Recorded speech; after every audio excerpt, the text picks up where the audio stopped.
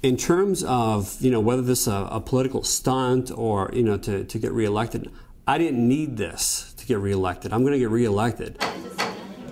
Welcome everyone to the September 18th, 2007 Board of County Supervisors meeting. The expenditures are related to 21 additional staff. That's additional staff in addition to the proposed staffing plan that has technically been funded. The cost must always be weighed uh, against the benefits. And the benefits here, I think, are pretty substantial, um, but they're more substantial in the long term. How long is long? Well, I think you're, you know, 30 years. And one of the concerns I have is that we have a community that expects us to do wonders.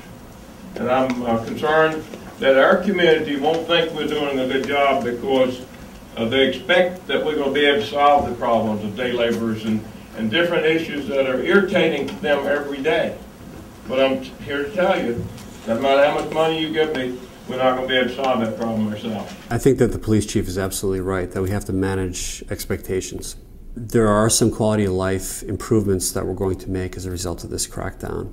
Although progress may be slow, don't, don't blame it on the police department. Uh, they are doing everything that they possibly can. If there is blame to go anywhere, it's with the federal government, which over the course of decades has failed to do anything to control the border. The federal government has failed, and why Prince William County and other localities have to pick up the slack for what the federal government has failed to do. That's right. We need all of your support. We got a tough election. This election that is on the local level is going to have national significance. It's going to be seen as a referendum on whether or not the people of this county support what we're doing to crack down on illegal immigration. I need your help. Please sign up. John Stirrup needs your help. Give him a, a, a round of applause. He's the one who first got this started. Got it. You got it. We are ground zero in this debate on illegal immigration, and uh, we're getting a lot of national attention, uh, certainly regional and all around the state.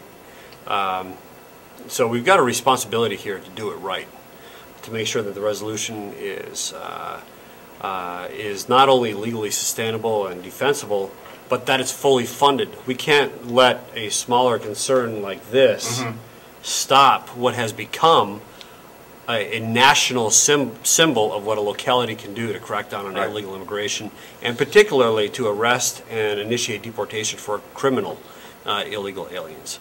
Uh, and, and so I, I feel some extra responsibility here to get this thing done, to get it passed, and to make sure that it's done properly.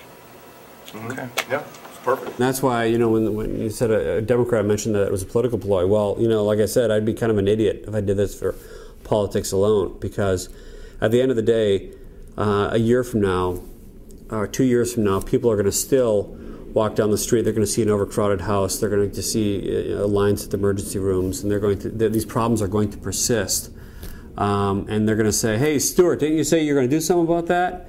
And I'm going to have to say, "Yeah, you know what? I'm still trying. I'm still working on it, and we're making progress.